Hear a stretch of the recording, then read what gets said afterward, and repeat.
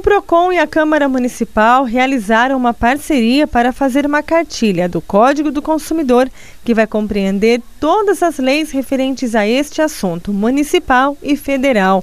O objetivo é facilitar o acesso dos consumidores e empresários a esta legislação. Nós vamos ter num único código toda a legislação é, concernente ao direito do consumidor, às tarefas ou obrigações das pessoas é, jurídicas que têm que respeitar esses direitos que já vem sendo respeitado e muito aqui em Campinas, mas com a própria legislação federal existente e as nossas leis esparsas.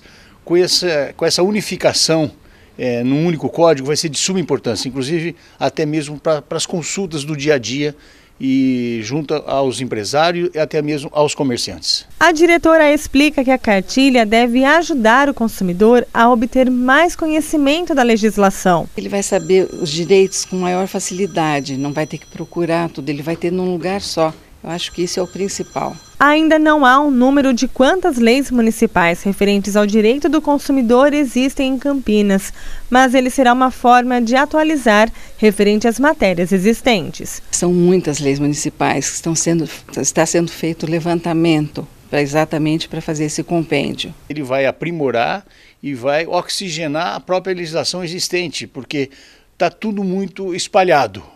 E a ideia é brilhante, a ideia é nós é, agruparmos todas essas legislações num único código. Após realizar um levantamento de todas as leis referentes ao direito do consumidor existentes no município, a cartilha deverá seguir um caminho na Câmara Municipal. Por último, ela deverá ser sancionada pelo prefeito e assim chegar às mãos da população. Depois de, de, de aprovado aqui na casa, passar por todas as comissões temáticas, e sancionado e publicado pelo seu prefeito municipal, o próprio PROCON, segundo as conversas iniciais, ficará aí, é, não vou dizer obrigado, mas ficará a, a, sua responsabilidade não só a propagação, mas também a entrega que, que consuma verdadeiramente é, o acesso do consumidor com aquilo que ele vai manusear ou acessar via é, internet.